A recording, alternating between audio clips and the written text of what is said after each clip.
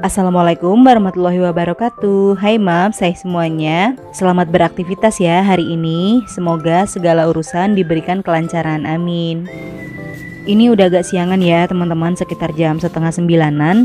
Aku mau nerusin jemurin pakaian dulu. Jadi ini tuh cucian yang ketiga ya teman-teman. Kloter 1 dan kloter 2 udah aku jemurin di samping. Nggak muat ya.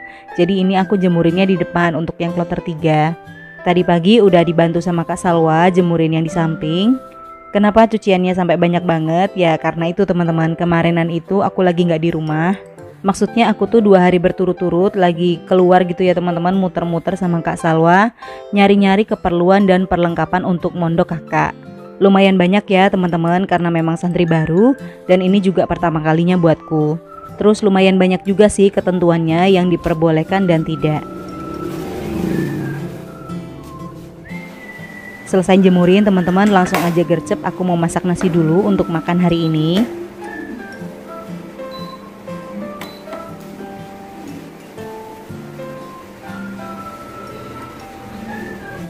Terus lanjut nih teman-teman aku mau unboxing. Alhamdulillah ya kemarin pak suami itu kan ada kegiatan jalan sehat di Polres Batang dan pulang-pulang bawa bingkisan segede gini nih teman-teman.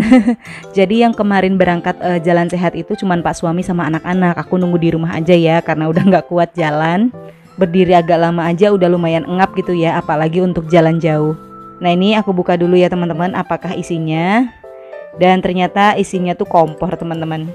Jadi ini alhamdulillah dapat kompor gas dua tungku ya merek Niko ya alhamdulillah ya teman-teman lumayan Sebenarnya door prize-nya tuh banyak ya, kayak elektronik, mesin cuci, sepeda, uh, terus hadiah utamanya tuh ada sepeda motor. Karena memang belum rezekinya dapat motor ya teman-teman, tapi ini udah alhamdulillah dapat kompor gas, lumayan lah.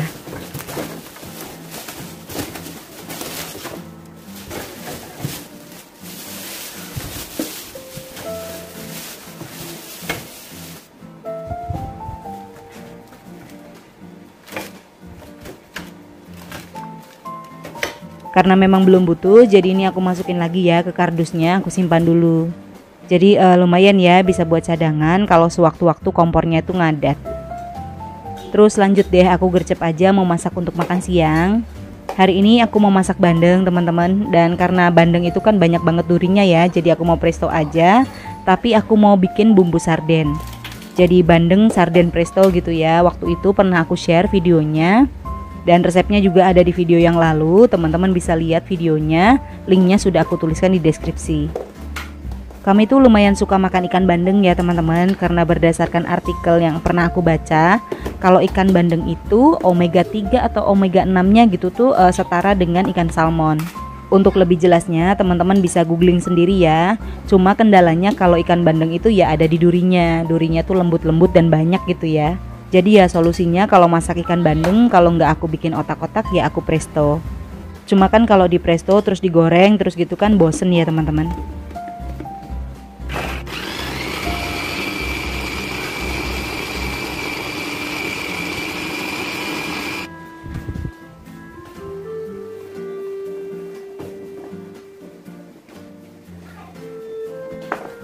Ini aku siapin dulu ya teman-teman panci prestonya aku pakai panci presto elektrik dari Rafael Official.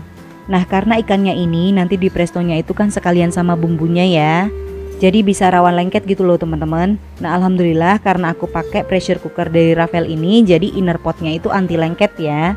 Jadi pancinya atau inner potnya ini multi layer Korean grade teman-teman. Jadi dijamin anti lengket. Panci prestonya ini juga low watt ya 600 watt. Desainnya juga estetik Korean style multifungsi juga ya teman-teman. Selain untuk mempresto, teman-teman juga bisa masak nasi di sini, nasi biasa. Kemarin udah pernah aku coba untuk masak nasi dan hasilnya tuh bagus ya teman-teman, pulen seperti nasi pada umumnya. Dan untuk link pembeliannya sudah aku tuliskan di deskripsi ya, teman-teman tinggal klik aja.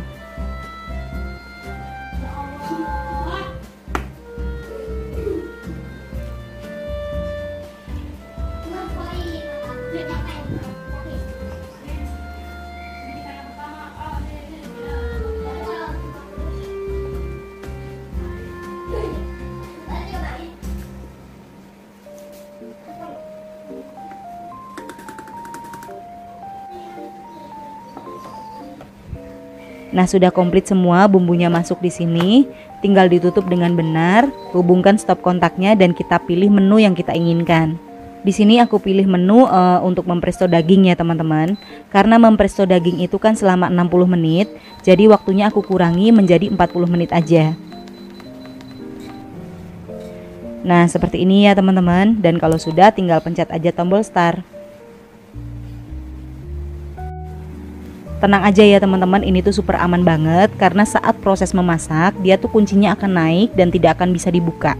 Suaranya juga nggak bising ya teman-teman, bahkan nggak ada suaranya sama sekali, nggak terdengar. Pokoknya nanti tinggal tunggu alarmnya bunyi, itu artinya sudah matang. Kemudian untuk sayurnya nih teman-teman, aku mau tumis-tumis aja deh seperti biasa ya, yang gampang. Karena memang Mas Zafran tuh eh, nggak uh, terlalu suka sayur yang aneh-aneh teman-teman, beda sama Kak Salwa. Jadi ini aku mau tumis wortel aja sama putren atau baby corn. Jadi ya akhir-akhir ini aku memang lagi nggak bisa masak yang aneh-aneh ya teman-teman. Soalnya kalau berdiri agak lama tuh aku udah agak ngap. Padahal hamilnya tuh baru mau jalan tujuh ya teman-teman, tapi oh, perutku tuh udah kelihatan gede banget. Aku tuh memang kayak gitu, kalau hamil pasti perutnya tuh kelihatan gede banget. Karena kan memang e, dari sebelum hamil aku udah gemuk ya teman-teman, mungkin itu jadi pengaruh.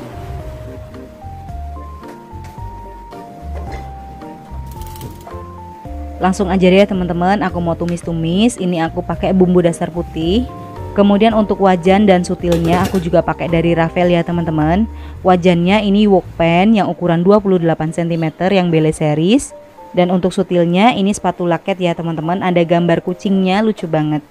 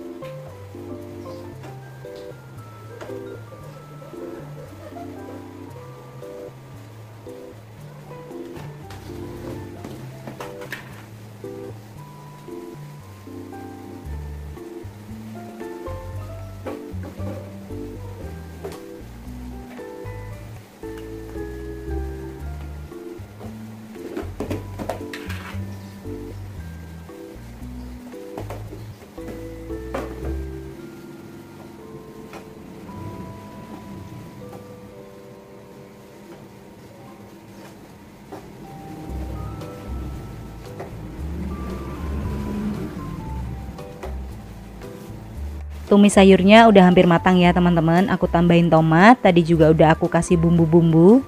Tinggal tunggu matangnya aja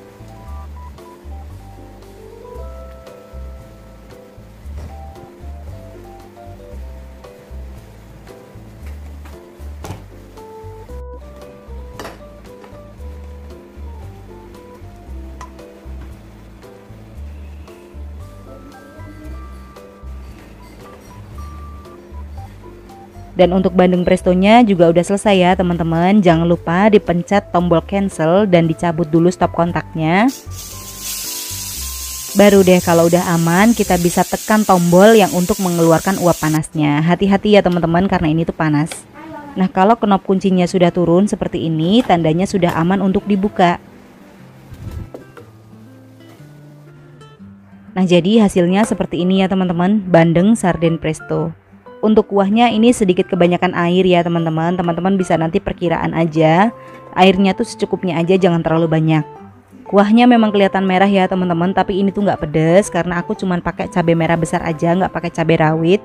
Karena tadi tuh ada tomat dan saus tomatnya, jadi warnanya tuh kelihatan merah.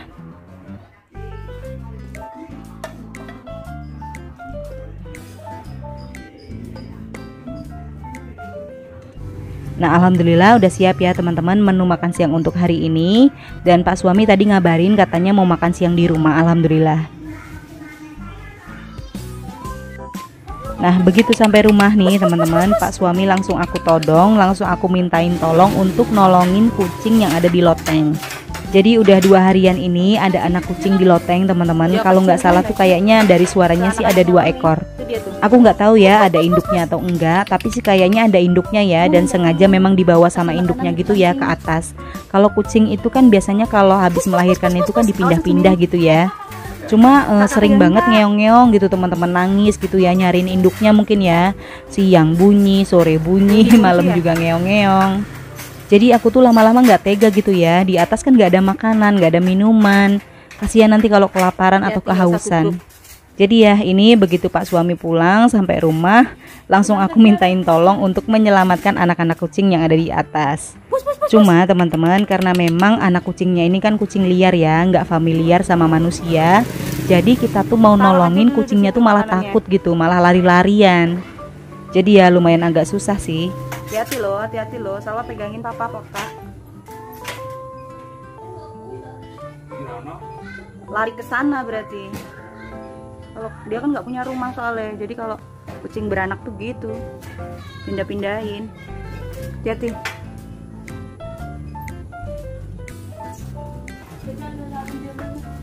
Di belakang ya? Itu nggak dimakan makanannya kalau enggak makanannya taruh di gentengnya Mas Seno aja Pak. Dan pada akhirnya kami nyerah juga ya teman-teman. Kucingnya ini belum berhasil kami selamatkan. Jadi ya udahlah nunggu lain kesempatan aja dan itu di atas udah ditaruhin makanan ya sama Pak suami. Ya Minumannya juga udah jadi tuh nggak kehausan ya. Oke teman-teman sampai sini dulu ya video dari aku. Terima kasih untuk teman-teman yang selalu support dan sampai ketemu lagi di video selanjutnya. Assalamualaikum warahmatullahi wabarakatuh.